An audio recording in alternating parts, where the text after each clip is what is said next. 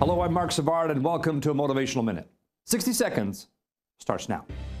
After watching this video, I want you to go to a mirror and look at yourself. I mean, really look at yourself. Look into your own eyes. Reflect on the person you're presenting to the world and as the person you see yourself as. Are both of those people the same? Are they congruent? And be honest with yourself.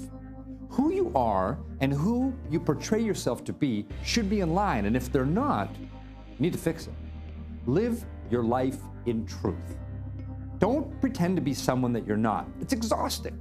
And quite frankly, the people who matter in your life the most right now are the people who know the real you. I constantly hear people say things like, I don't have any good friendships, or people around me just don't understand me. Well, surprise, surprise. They don't know the real you because you're showing them something else. Their friendship is matching the person you're selling to them and not the person that you are. Here's an analogy it's like showing them that you're a flathead screw, and then a flathead screwdriver shows up in your life. You get frustrated because you're not actually a screw, and the screwdriver is the last thing you need. You might actually be a nail. Show people that you're a nail, and then a hammer might just show up, and it's exactly what you need. Start showing them the real you to everyone around you in every aspect. And you'll attract the right people who fit your needs and who actually love and care for the real you.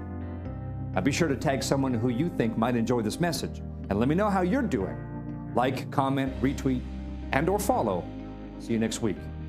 I'm pretty sure my message today is don't get screwed, get hammered. Lock that into your mind.